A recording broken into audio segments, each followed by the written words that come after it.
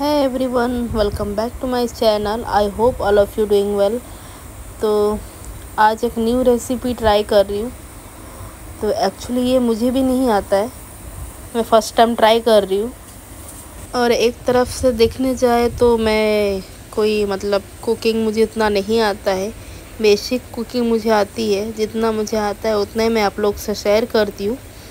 तो सबसे पहले यहाँ पे मैंने कुछ मूंगफली की दाने लिए हैं। अब इसको मैं अच्छे से फ्राई कर लूँगी।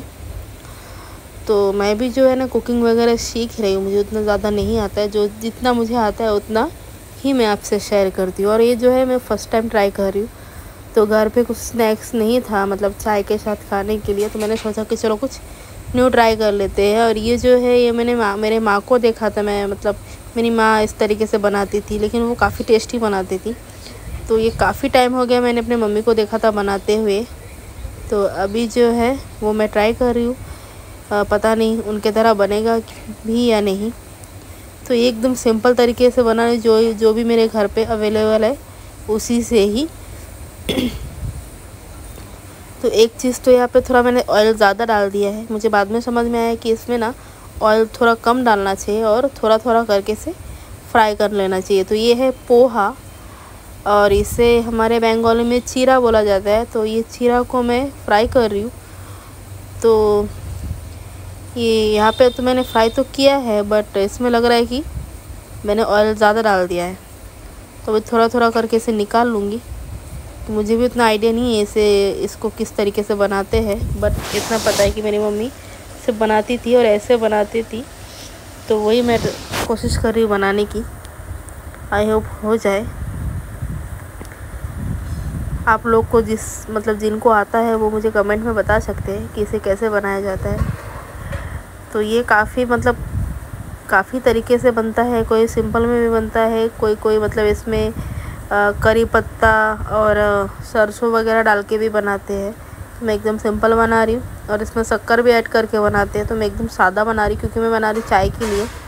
सुबह सुबह जब मैं चाय पीती हूँ, तभी मुझे कुछ चाहिए रहता है चाय के साथ।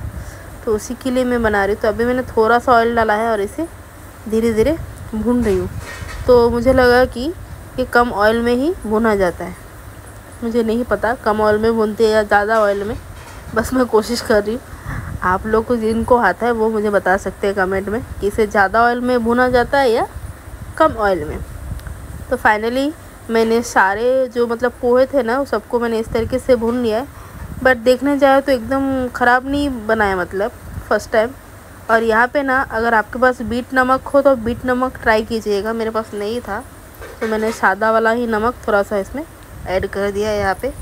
और अच्छे से इसे इस तरीके से मिक्स कर रही हूँ। काफ़ी गर्म है तो धीरे धीरे मैं ट्राई कर रही हूँ इसे मिक्स करने की। और मैंने मेरे बेटे को भी थोड़ा सा दिया है प्लेट में निकाल के, उसे अच्छा लगा।